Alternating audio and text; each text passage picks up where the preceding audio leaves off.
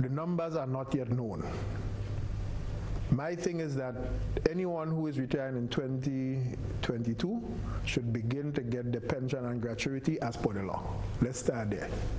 And then you're back into um, the others who retired last year and the year before. You know, you, you develop some criteria around which you're going to begin to pay these people. Retired banker Richard Duncan, who also served as an accountant general for Grenada, is suggesting that government pay public officers their pension as mandated by the Constitution. The question is how do we generate cash flows to pay the arrears owed to pensioners?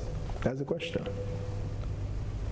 But your debt to GDP ratio, for all intents and purposes, has already gone up. But no one has received a single cent. So my point is generate the cash flows and start paying these people. Speaking on GBN's Beyond the Headlines Monday night, he said there are positives that can arise from this situation. Duncan suggests the government starts looking to the local financial institutions. The level of liquidity in the system right, is extremely high. So high, hold on, so high that you would know that that if you had a fixed deposit 12 years ago, you could have gotten 4 or 5%. Today you're getting point something of a percent, if at all. Sometimes it's zero. So I'm saying that given the liquidity in the system, the government has an opportunity. This problem has met the government at a very nice time when you take a historical view of it. And there's a chance to take a bold, transformative approach to the resolution. So the recent repurchase of Grenlec shares also came to play as a possible solution towards making good on civil servants' pension payments.